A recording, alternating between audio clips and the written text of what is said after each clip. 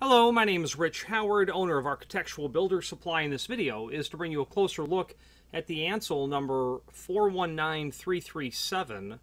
This is a 2W nozzle, as it's indicated. This is a, a 2W style nozzle, which has a, uh, a reference to its application. It features this metal blow-off cap that's here. Okay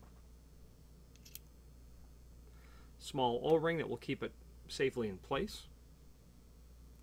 Take a couple of basic dimensional properties. Overall length with the cap removed, about an inch and three quarter. The 2W has a reference to the uh, precise sort of spray and what it will be sitting over and on top of, the application, what sort of appliance that it will be working in conjunction with. And what we're driving at is nozzles are all very similar in appearance. Um, they do and, and have, you know, they all look almost the same, uh, except that each nozzle is designed for a specific application and must only be used on those areas.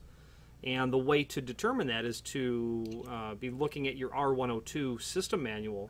A 2W um, nozzle is going to be appropriate for um, a duct or transition uh, sort of application uh, with a specific set of uh, dimensional requirements uh, that it's working with. It could work over a griddle as well uh, within a certain height or distance from that um, from from that from that surface top from the fire hazard.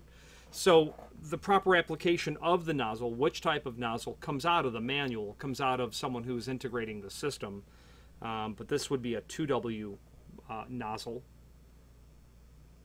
Okay, that'll blow off cap. Finally, there's a link below this video to the manufacturer's page where you can pull up not only all of the Ansul products that we sell, but also a link to the manufacturer's website, as well as a link to the full product catalog and several encyclopedic documents as well.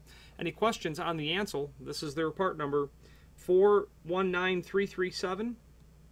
Uh, 2W nozzle or any other Ansul product, please feel free to reach out to us. And thank you.